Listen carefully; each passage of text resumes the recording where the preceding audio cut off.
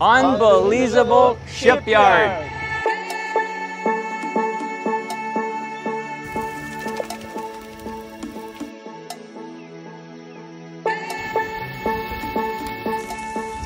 I'm here with my good friend Alexander Perez from BCE and we are here in Shipyard. This is actually where I uh, was born, very close to here. I wanted to come back and see how uh, things looked here today and it is amazing. The uh, farmers, how they have progressed here and what they're doing for the country.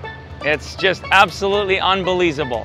Yes, and for us, a big privilege to see a partnership to help us in the work of the children as we continue working in the city and the whole country of Belize where young people come in the summer and benefit from fresh cheese, very good partnership with Belize Camping Experience and John if you have not heard of Belize Camping Experience, it is an organization that is working with children in Belize City and the surrounding areas.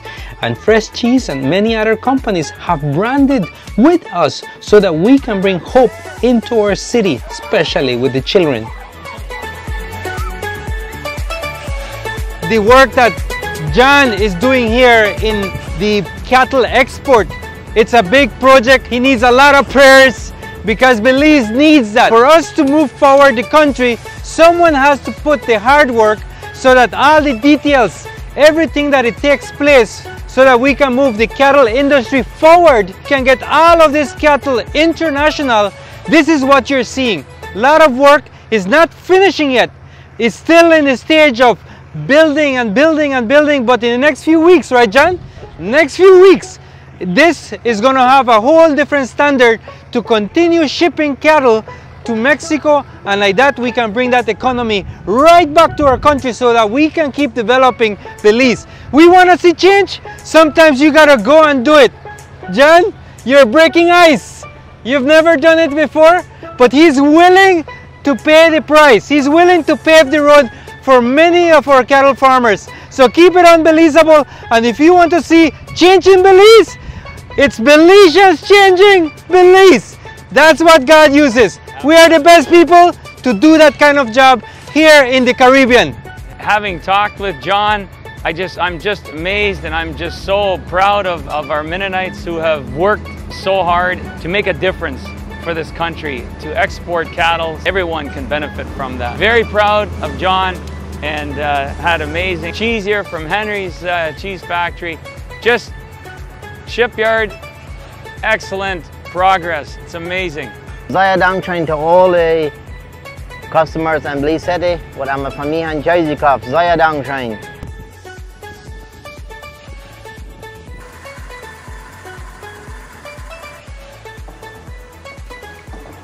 Ik wil me ook zeer bedanken voor dat wat ik heb geholpen gekregen van de mensen en de support wat ik gekregen heb, dat die mij gaan zo zeggen, in je stad met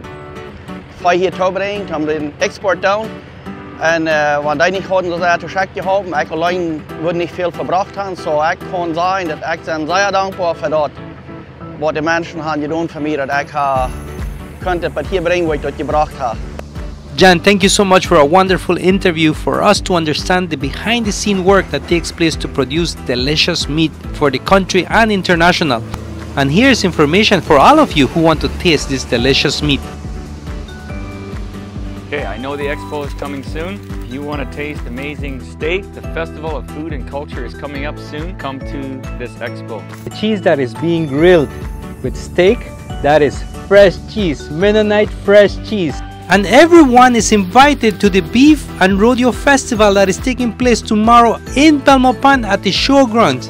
Come and meet some of the most wonderful producers of meat in the country of Belize and have a family fun day. But for now, let's continue the story with Tobias.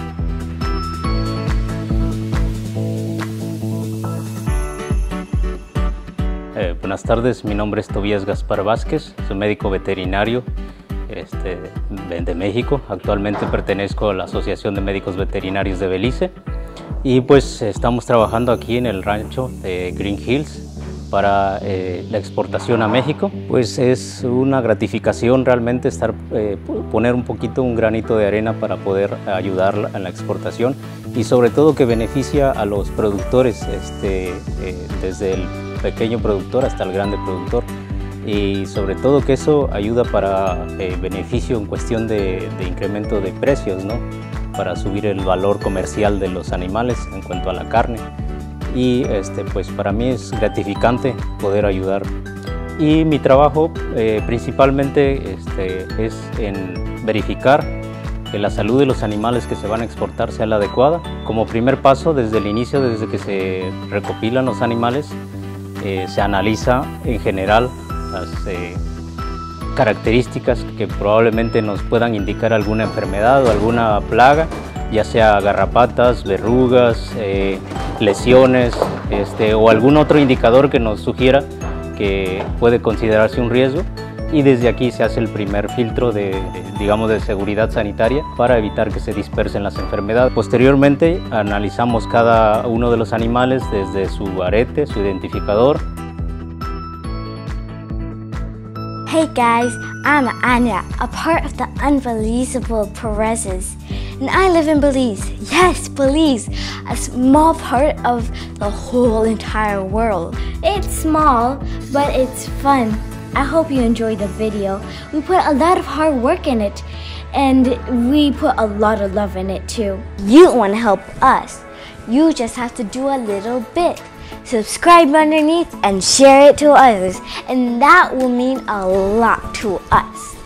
Oh, and don't forget, don't be scared and be smart and keep it unbelizeable.